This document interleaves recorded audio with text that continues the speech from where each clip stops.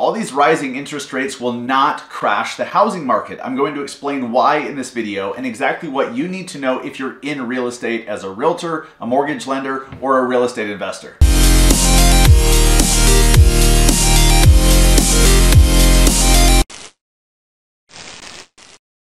What's up guys? Welcome back to the Massive Agent YouTube channel. I am Dustin Brohm, host of the Massive Agent podcast. Today we're talking some pretty nerdy shit. Okay, we're going to talk some interest rate stuff. But this is the question, right? Is housing going to crash? Are we going to see homes lose, you know, 20, 30, 40% of their value like they did back in 08 and 09? I'm here to tell you, spoiler alert, no even though interest rates have gone through the roof and obviously dramatically slowed the growth of the housing market and caused the demand to cool off quite a bit, it's not going to crash. Okay, so to understand what's happening now, we need to understand what's happened over the last two years. So let's rewind, shall we? Before the Fed started raising the interest rates, housing was out of control. Okay, there were a good two years caused by the post-COVID boom where people are like, oh, I don't need to live in the city anymore, I can work remotely. People are leaving, interest rates were super low, money was cheap. And so there was this massive demand and not nearly enough homes on the market. So you saw homes that were being listed for 500,000, someone would come in and pay cash for 600 150,000, for example. I mean, there's stories in many markets of homes going 100, 200, 300,000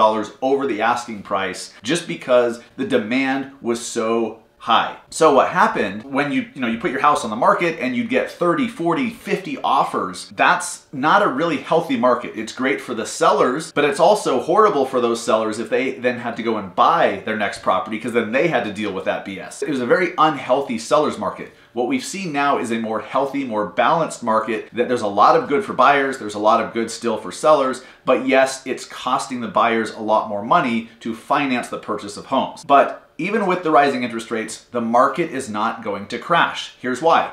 All of that demand that has been pent up from 2020, 2021 over the last year, it hasn't gone away. It's not like when the Fed decided to start raising interest rates and mortgage rates spiked, it's not like people are just like, ah, that's it, I guess I won't own a home. That's not how it works. They're like, okay, this is just not the best time to buy. So what they, all of that demand, all of these buyers that want to buy, they're just taking a break. They're looking for some certainty. They're looking for some clarity. They're looking for that light at the end of the tunnel. Buyers are wondering when will interest rates come back down again, or at a minimum, when will they stabilize a little bit? Once that happens, once we see rates stabilize and then even come back down, we're gonna see buyers jumping back into the market in droves. And there's even more demand piling up every day. All right, there's pent up demand. So that demand is a backstop for the market crashing. If homes get too low, people are gonna be like, okay, um, this house just dropped the price 50K. Maybe I'm paying an extra 2% in interest for the mortgage, but I'm gonna buy this house because, oh my God, look at the price now. That demand is a backstop for housing. It's not going to crash. So right now we're already seeing, okay, Thanksgiving was yesterday, we're just starting to see headlines from Inman, just came out yesterday, that mortgage demand, the mortgage demand has gone up three weeks in a row. This is when rates are not going up, but they're not really going down. They're just kind of showing signs of stabilizing, showing signs that eventually they will start to come down and people are like, all right, I'm tired of waiting, I'm jumping in. Ultimately, here's what you need to know. People still need to move. They still need a house. They still want a house. That demand is is still there. It did not disappear just because rates went through the roof. Those people that want to buy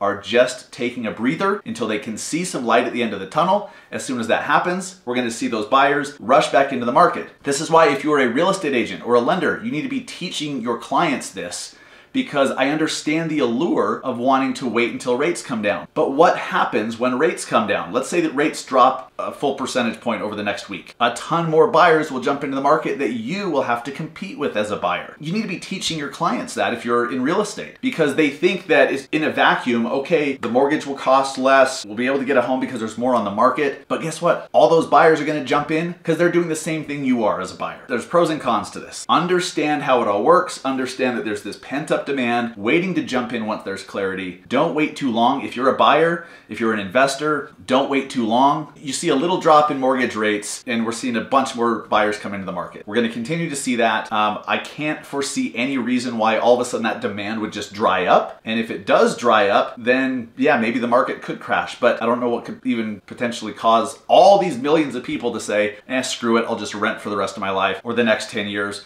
I don't even want to buy anymore. The opposite is happening. They just are waiting for clarity on when the mortgages will become more affordable and when the market is less insane. And if you are a real estate pro, your job is to advise, educate, and guide and be an adult in the room and teach people about all of this. Give some clarity to it. Teach them if they're buying, here's what to look for. Here's what this means. Here's what this means. If you're selling, here's this and here's how it affects you. Please don't just read headlines to your clients. Headlines can be extremely misleading. Make sure that you are being the voice of reason and the lighthouse in the storm for the real estate market. If you enjoyed this video, please just let me know what you learned in the comments and share it with somebody that you think would find it valuable as well. And if you enjoy these videos, we drop a new one every single week at a minimum. Please subscribe to the Massive Agent YouTube channel. Appreciate you so much.